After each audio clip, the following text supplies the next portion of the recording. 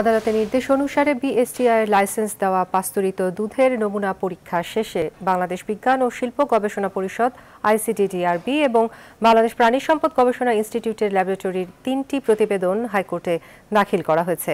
তবে চারটি ল্যাবরেটরির প্রতিবেদন দাখিলের নির্দেশ থাকলেও এখনও জনস্বাস্থ্য ইনস্টিটিউটের ন্যাশনাল ফুড সেফটি ল্যাবরেটরির প্রতিবেদন আদালতে জমা হয়নি। দুপুরে বিচারপতি সৈয়দ রেফাত আহমেদ ও বিচারপতি মোহাম্মদ ইকবাল কবিরের সমন্বয়ে গঠিত হাইকোর্ট বেঞ্চে বিএসটিআই এসব প্রতিবেদন দাখিল করে।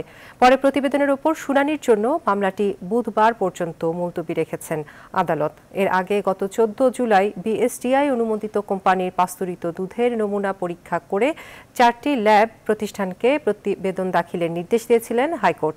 একই সঙ্গে ওইসব ল্যাবে দুধের অ্যান্টিবায়োটিক ডিটারজেন্ট, এসিডিটি, ফরমালিন ও অন্যান্য ব্যাকটেরিয়ার উপস্থিতি আছে কিনা তা পরীক্ষার নির্দেশ দেওয়া হয়।